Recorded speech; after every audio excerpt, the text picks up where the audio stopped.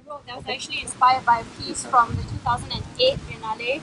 Uh, and it's it was an installation piece of like a bunch of spun objects, like knitted objects, and through the time of the installation, it kind of unraveled. So I started thinking about what it might be like if I could knit a Singapore of my making. Yeah, and so this piece is called um, Spinning Yarns. One day, you decide this sort of world is not for you. You sit down and knit mountains with secret caves, a valley, a rainforest from every shade of green, brown, and grey. You create whales, elephants, white tigers, and for the heck of it, some purple ones too. You knit mohawks for the conformists, Toyotas for the rebels, and then realize it doesn't really change a thing.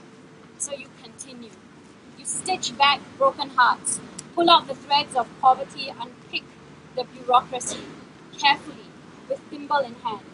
Then you thread your needle a different color. You create housing blocks with turrets and shimmering moats, a chain of hypermarts that serve only very excited shoppers. You conceptualize compassion that can be sold in a tube and the brilliance of pride flags amidst all the dichotomy of red and white. Instead of the IR, you knit a giant field where poets spin words out of lovers holding hands who cling on to songs sung by musicians who let their guitars wail for the lack of the beautiful abstract. You undo the Singapore flyer and create a roller coaster. It runs through Shenton Way.